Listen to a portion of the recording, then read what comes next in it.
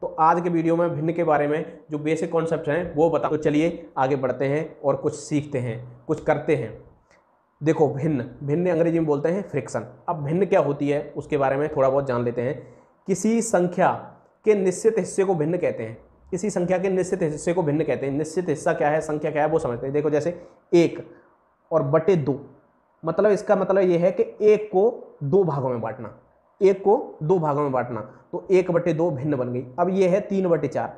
इसका मतलब है तीन को चार बराबर भागों में बांटना। तो ये इसका मतलब तीन बटे चार का मतलब है तीन को चार बराबर भागों में बांटना। तो ये तीन बटे चार बन गई। अब ये है पाँच बटे सात।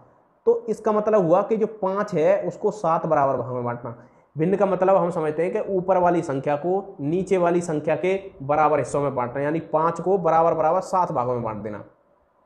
अब देखो ये दो बटे तीन इसका ऊपर वाली संख्या को अंश बोलते हैं, नीचे वाली संख्या को हर बोलते हैं और अंग्रेज़ी में इसे बोलते हैं न्यूमिनेटर अंश को क्या बोलते हैं? न्यूमिनेटर और हर को बोलते हैं डिनोमिनेटर और हर को क्या बोलते हैं? डिनोमिनेटर तो अब आगे बढ़ते हैं भिन्न की तरफ़। और देखो, भिन्न दो प्रकार की होती हैं। एक तो साधारण भिन्न और एक संयुक्त भिन्न।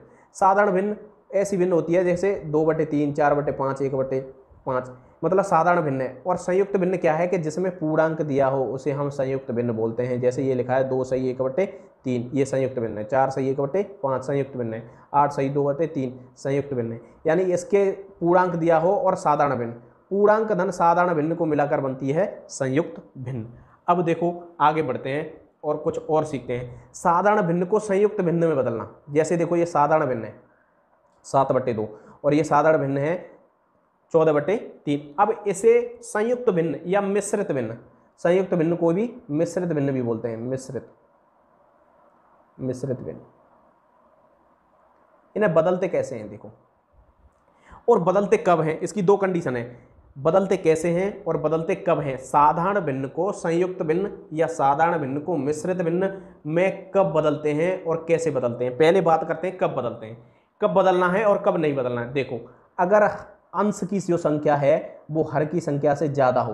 अंश का मान है, जो हर के मान से ज़्यादा हो, तब हम साधारण भिन्न को संयुक्त या मिश्र भिन्न में बदलते हैं। तो ये क्या हम इसे बदल सकते हैं? हाँ बदल सकते हैं, क्योंकि अंश का मान हर से ज़्यादा है। तो बदलने का तरीका क्या है? कि हर से अंश में भाग देते हैं। देखो, दो तीय छः एक बच्चा कितनी बार भाग गया? तीन बार। देखो, अब इसे बदलते कैसे? जितनी बार भाग जाता है, उसे पूर्णांक बोलते हैं और इसे सही में लिखते हैं। और जो शेष बचता है, उसका वो अंश बन जाता है और जिसे भाग देते हैं वो हर बन जाता है। यानी सात बटे दो को संयुक्त या मिश्र भिन्न में लिख सकते हैं हम, तीन सही, एक बटे दो। अभी इसी प्रकार चौदह बटे तीन, ये साधारण भिन्न है। क्या इसे हम मिश्रित भिन्न या संयुक्त भिन्न में बदल सकते हैं? क्या हम इसे साधारण भिन्न या संयुक्त भिन्न में बदल सकते हैं? हाँ क्यों? क्योंकि इसका अंश हर से ज़्यादा है। अब बदल सकते हैं तो कैसे बदल सकते हैं? हर का भाग अंश में देंगे। देखो चौदह में तीन से भाग देंगे। तीन से इसमें कितनी बार जाएगा? चार बार। तीन चौके, बारह। कितने बचे? दो। जितनी बार भाग जाता है, यानी भागफल आता है, वो उसका सही बनता है और उसे पूर्णांक बोलते हैं और जो शेष आता है, वो उसका अंश बनता है और जिसे भाग देते हैं, वो उसका हर बन जाता है। तो चौदह बट्टे तीन को हम लिख सकते हैं, चार सही, एक बट्टे दो। ये साधारण भिन्न का मिश्रित रूप या संयुक्त भिन्न है। ये साधारण भिन्न का मिश्रित रूप या संयुक्त है। अभी नोट में देखो, वही मैंने पहले ऊपर बताई, वही बात है। केवल उन्हीं भिन्न को संयुक्त भिन्न में बदला जा सकता है, जिसका अंश हर से बड़ा हो। क्या, देखो, क्या इसे हम संयुक्त भिन्न में बदल सकते हैं? नहीं, क्योंकि अंश का मान हर के मान से कम है। अंश का मान हर के मान से कम है तो इसे नहीं बदल सकते। आठ बट्टे तीन को बदल सकते हैं? बदल सकते हैं। कैसे? क्यों? पहले तो क्यों? क्योंकि आठ बड़ा है तीन से तो इसमें इसका भाग देंगे आठ में। तीन से भाग देंगे तो तीन दूनी छः दो बचे। जब ये बन गया, पूर्णांक और ये बन गया, अंश और ये बन गया, हर। क्या इसे बदल सकते हैं? नहीं। क्यों? क्योंकि हर अंश का मान हर से कम है। अब देखो, कुछ आगे बढ़ते हैं और फैक्ट देखते हैं। और बहुत छोटी छोटी चीज़ें हैं ये। बहुत छोटी छोटी हैं, पाँच छः क्लास में। चार पाँच क्लास में पढ़ाई जाती हैं, लेकिन कभी कभी छूट जाती हैं और नहीं आती तो उन बच्चों के लिए ये बहुत यूजफुल है। अभी देखो क्या बोल रहा है, संयुक्त भिन्न को, साधारण भिन्न में बदलना, संयुक्त भिन्न को साधारण भिन्न में बदलना ये बहुत छोटी चीज़ है, लेकिन ये हमें आनी चाहिए, ये हमें आनी चाहिए। तो इसे कैसे बदलते हैं देखो, ये संयुक्त भिन्न है है, क्योंकि इसमें ये पूर्णांक दिया है। अगर किसी में पूर्णांक दिया है तो वो संयुक्त भिन्न या मिश्र भिन्न है। अब इसे हमें बदलना है साधारण भिन्न में। कैसे बदलेंगे? तो बदलने का नियम क्या है? जो इसका जो पूर्णांक है, उसका हम हर से गुणा करते हैं। तो सात का गुणा तीन में करेंगे तो कितना आएगा? इक्कीस। और अंश को उसमें जोड़ देते हैं तो सात इक्कीस और एक, बाईस। और हर ज्यों कहते हो ये बदल गया साधारण भिन्न में। अब इसे बदल के देखते हैं। तो हर का गुणा पूर्णांक में और अंश को उसमें जोड़ देंगे चार दूनी, आठ और एक, नौ बट्टे चार। इस प्रकार से संयुक्त भिन्न को साधारण भिन्न में बदला जाता है। एक और एग्जांपल ले लेते हैं। तीन सही नौ बट्टे ग्यारह। तो कैसे बदलेंगे? इस पूर्णांक का गुणा हर में करो। ग्यारह थी, तैंतीस और नौ जोड़ दो। कितने हो गए? तैंतीस और नौ, बयालीस बट्टे ग्यारह। ये बन गई साधारण भिन्न। क्या बन गई? साधारण भिन्न। और ये किससे बनी? संयुक्त भिन्न से। किससे बनी है? संयुक्त या मिश्रित भिन्न से। तो इस प्रकार से आप संयुक्त या मिश्र भिन्न को साधारण भिन्न बदल सकते हो और साधारण भिन्न को मिश्र, मिश्रित भिन्न में बदल सकते हैं। अब चलिए आगे बढ़ते हैं।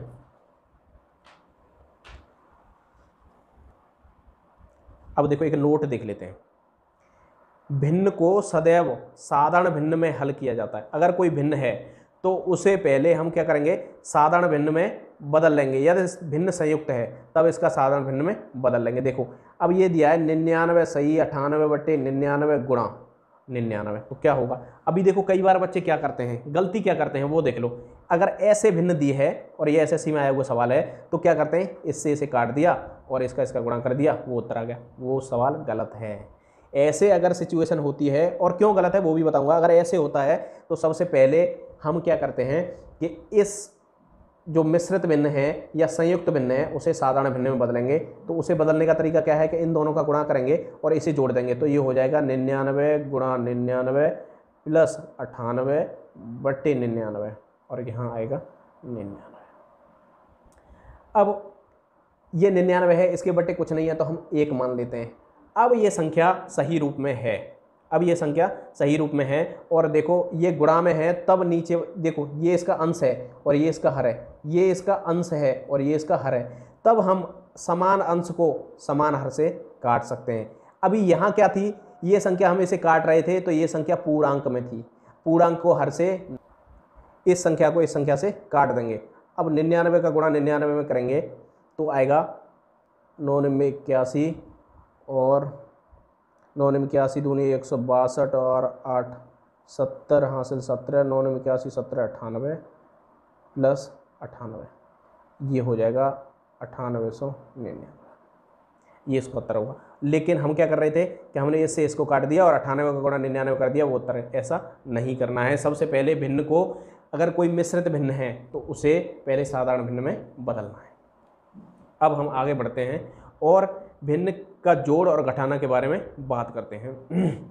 जब हम भिन्न को जोड़ते या घटाते हैं, तब हमारे सामने दो तरह की स्थिति बनती है। पहली क्या है, यदि दिए गए भिन्न के हर समान हो आपस में, यदि दिए भिन्न है, देखो इसके हर समान है, सात बट्टे तीन, ग्यारह बट्टे तीन, दस बट्टे तीन, हर तीनों के समान हैं, तब बहुत ईजी होता है करना एक हर लिख लिया। अब ऊपर वाली संख्या अगर धन में है तो जोड़ दो, घटा में है तो घटा देते हैं। तो सात और ग्यारह हो गए अठारह अठारह में से ऋण के दस गए तो बचे आठ। ये हो गया इसका उत्तर। अब देखो ये, इसे कैसे करेंगे? तो इसे हल करने से पहले, सबसे पहले ये मिश्रित भिन्न है, इसे साधारण भिन्न में हम चेंज करेंगे। तो कैसे करेंगे इसका गुणा? इसमें और इसे जोड़ देंगे। तीन दूनी छः, एक, सात बट्टे तीन और धन। तीन एक तीन, एक चार बट्टे तीन। और यहाँ ऋण का चिन्ह है तो ऋण का लगाओ। तीन एक तीन, एक चार बटे तीन। अब देखो तीनों का हर एक जैसा है। सात और चार, ग्यारह ग्यारह में थे। चार के कितने बचे? सात। ये उत्तर हो गया। यानी ये दोनों संख्या एक जैसी हैं तो ये कट भी जाएँगी, तब भी ऐसे हो जाएगा। क्या समझे? अगर ए बटे डी बी बटे डी सी बटे डी कहने का मतलब अगर हर समान है और संख्या अनंत तक योग में है तो एक हर लिख दो और ऊपर ऊपर वाली सारी संख्याओं को जोड़ दो। एक तो ये कंडीशन होती है, दूसरी कंडीशन दूसरी कंडीशन क्या है? जब भिन्नों के हर समान ना हो। देखो, ऐसे इस प्रकार से है। जब भिन्नों के हर समान ना हो, तब हम कैसे करते हैं? तब करने का तरीका ये होता है कि जो हर होते हैं, उसका लेते हैं लासा। तो देखो, लासा कैसे लेंगे? अब हम ये चार और छः का लासा लेना है। वो मैं यहीं बता देता हूँ, लासा लेने वाला चैप्टर में मैं आगे पढ़ाऊँगा। देखो, लासा कैसे लेते हैं? चार और छः का लेना लेना है लासा। तो सबसे पहले हम सबसे छोटी संख्या दो। दो से इन दोनों में भाग दे के देखते हैं। अगर किसी एक भी संख्या में भाग जा रहा है तो हम भाग देते हैं। देखो, दो का भाग चार में दो बार, दो का भाग छः में तीन बार। अब इसमें से किसी, अब फिर देखते हैं वही नियम, दो का भाग, इनमें से किसी एक में भी जा रहा है। हाँ जा रहा है। देखो, दो एकन, दो, इसमें नहीं जा रहा तो इसे छोड़ देंगे। अब दो के बाद आती है तीन। तीन का भाग इसमें जा रहा है, नहीं जा रहा है। इसमें जा रहा है, जा रहा है तो तीन का भाग देंगे। देखो, तीन का भाग इसमें नहीं जा रहा है तो नहीं देंगे, इसमें जा रहा है। जब तक नीचे एक ना आ जाए, तब तक हम ये क्रिया करते रहते हैं और इन सब का आपस में गुणा कर लेते हैं। दो गुणा दो गुणा, तीन, दो दून चार, तीन, बारह। तो यहाँ इनका जो लाशा आया, वो बारह लिख लेंगे। यानी इसको पूरे बटे की लाइन के नीचे बारह लिख लेंगे। अब करेंगे, इस वाली संख्या का भाग इसमें देखे देखेंगे। तो चार का भाग बारह में कितनी बार जा रहा है? तीन बार। और जो भाग जा रहा है, उसी संख्या का इसमें गुणा कर देंगे, तीन तीन नौ। अब यहाँ प्लस वाला चिन्ह है तो वो लिख लिया। अब छः का भाग बारह में कितनी बार जा रहा है? दो बार। तो दो का गुणा करेंगे, सात में सात दूनी चौदह। तो चौदह और नौ होते हैं तेईस बट्टे बारह। ये इसका आंसर है। अगर आधार समान ना हो, आधार समान ना हो, तब क्या करते हैं? उनका लासा लेते हैं। अब हम आगे बढ़ते हैं इस भिन्न की तरफ़। सबसे पहले हमें देखना है क्या सारी भिन्न साधारण भिन्न हैं। तो पहली भिन्न साधारण भिन्न है, ठीक है। दूसरी नहीं है, तीसरी भी नहीं है। तो हम इन्हें सबसे पहले साधारण भिन्न में बदलेंगे। तो तीन दूनी छः, एक सात बट्टे तीन, अब माइनस का चिन्ह है। जैसे कि तैसे लिख लो, छः एक छः, एक सात बट्टे छः। अब यहाँ तीन हर हैं। हर कितने भी हों, तीन हो चार हो पाँच हो कितने भी हों, उनका क्या लेते हैं? लासा। तो तीन सॉरी चार, तीन और छः का लासा लेंगे। दो से भाग देंगे सबसे छोटी संख्या इसमें दो बार जा रहा है इसमें जा नहीं रहा है इसमें तीन बार जा रहा है फिर दो से भाग देंगे इसमें जा रहा है इसमें नहीं जा रहा है इसमें नहीं जा रहा है जिसमें जा रहा है उसमें दे देते हैं नहीं जा रहा है नहीं देते फिर तीन से तीन का इसमें नहीं जा रहा है नहीं देंगे इसमें एक बार जा रहा है इसमें एक बार जा रहा है तो यानी यहाँ जब तक एक एक ना आए तब तक ये क्रिया करते रहते हैं अब तीनों में एक एक आ गया तो इन संख्याओं का गुणा करेंगे वही उसका लाशा हो जाएगा तो क्या होगा दो दूनी चाहती है बारह अब फिर क्रिया यहाँ से शुरू होती है अब चार का भाग बारह में तीन बार जो तीन आया उसका उस अंश में गुणा कर देते हैं तो हो गया इक्कीस। अब यहाँ ये धन का चिन्ह है तो धन का लिख लिया। अब तीन का भाग बारह में, चार बार चार का गुणा सात में करेंगे तो अट्ठाईस। अब ऋण का चिन्ह है तो ऋण का लिख लिया। छः का भाग इसमें, बारह में दो बार, और दो का गुणा करेंगे चौदह में। देखो, ये संख्या किसकी है? धन की। ये संख्या किसकी है? धन की। तो जोड़ देंगे। इक्कीस और अट्ठाईस हो गए उनचास। उनचास में से चौदह गए कितने बचे? पैंतीस बट्टे बारह। ये उसका आंसर हो गया। अब आगे सीखते हैं कि भिन्न का गुणा और भाग कैसे करें। भिन्न का गुणा और भाग कैसे करें? गुणा करना बहुत इजी है। जैसे ए बट्टे बी गुणा सी बट्टे डी तो भिन्न के गुणा में हमेशा अंश अंश का गुणा कर देते हैं और हर हर का गुणा कर देते हैं। तो ए का गुणा सी में करेंगे तो ए सी बी का गुणा डी में करेंगे तो बी डी अब जैसे मान लो एक बट्टे तीन गुणा दो बट्टे चार तो इनका गुणा करना है तो दो एकन दो, अंश अंश का गुणा और हर हर का कर दो। चार तीन बारह। अगर ऐसे तीन चार संख्या हैं, एक बट्टे दो गुणा, एक बट्टे तीन गुणा, चार बट्टे पाँच गुणा, सात बट्टे आठ, ऐसे है। तब भी वही क्रिया है। एक एकन, एक एक चौके, चार चार सत्ते, अट्ठाईस, यानी अंश का गुणा कर दिया नीचे। आठ पंजे, चालीस चालीस दिए, एक सौ बीस। एक सौ बीस का दो में गुणा करेंगे, दो सौ चालीस। ये तो हो गया इसका साधारण नियम। लेकिन हम यहाँ एक और चीज़ देखते हैं। सबसे पहले ये संख्याएँ साधारण भिन्न में होनी चाहिए। ये संख्या साधारण भिन्न में है? हाँ है। अब हम अंश से हर को काट सकते हैं। एक ही पाड़े से, एक ही पाड़े से मतलब एक ही संख्या से। देखो, दो एकन दो। और दो से ही ये दो बार कट गया। तो अब क्या बना ऊपर? एक एकन एक एक दूनी, दो। और दो सत्ते, चौदह। अब नीचे क्या बन गया? एक, तीय, तीन। तिपंजे पंद्रह। अभी यहाँ भी काट सकते हैं। दो एकन दो और दो दूनी, चार। तो देखो, ऊपर एक ये है, एक ये एक ये है और सात ये एक एकन एक एक एकन एक एक सत्ते, सात। अब नीचे क्या बच गया? एक, तीन, पाँच, चार। पाँच चौके बीस बीस दिया, साठ साठ एकन, साठ। ये इसका संक्षिप्त रूप हो गया और ये इसका पूर्ण रूप हो गया। इसे हम ऐसे भी कर सकते हैं और ऐसे भी कर सकते हैं। देखो, भाग वाली क्रिया क्या होती है? भिन्न का भाग कैसे करते हैं? भाग करने के लिए जैसे एक बट, ये लिखा है, ए बट्टे बी भाग सी बट्टे डी। तो भाग करने के लिए अगर इस वाली संख्या का इसमें भाग देना है तो यहाँ चिन्हों का गुणा कर देते हैं और दूसरी वाली संख्या को पलट देते हैं। जैसे एक बट्टे चार, यहाँ भाग का चिन्ह सॉरी यहाँ भाग का चिन्ह लगा लें तो इसका करना है तो एक बट्टे तीन भाग की जगह गुणा कर लो और चिन्हों, ये दूसरी वाली संख्या को आपस में पलट दो।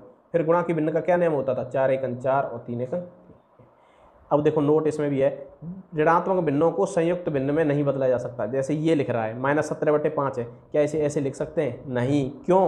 क्योंकि इसका मतलब तो ये हो गया कि ये माइनस तीन पूर्ण संख्या है और ये दो बटे पाँच एक भिन्न है, जो धन की है। यानी इसका मतलब यह है माइनस तीन में से दो बटे पाँच घटाएँगे तो इतना आना चाहिए, लेकिन आएगा इतना? नहीं आएगा। तो कभी भी जो संख्याएँ ऋणात्मक हैं और उन्हें हम कभी भी संयुक्त संख्या में नहीं बदल सकते। क्योंकि इसका मतलब ही ये है कि ये वाली संख्या माइनस के सत्रह बटे पाँच है और इसका मतलब ये है गया कि इसमें माइनस के तीन हैं और प्लस के दो बटे पाँच हैं। तो ये और ये कभी समान नहीं हो सकती है। इसीलिए माइनस की संख्या को कभी पूर्ण संख्या में नहीं बदल सकते। तो आपको वीडियो कैसा लगा? और आप आगे ही ऐसे बेसिक कॉन्सेप्ट के वीडियो देखना चाहते हैं, अपना मैथ इम्प्रूव करना चाहते हैं, आगे कुछ करना चाहते हैं तो वीडियो को लाइक करें, कमेंट करें और मेरे चैनल को सब्सक्राइब कर लें और बेल आइकन को दबाएँ ताकि आपको आगे आने वाली वीडियो के नोटिफिकेशन मिल सकें।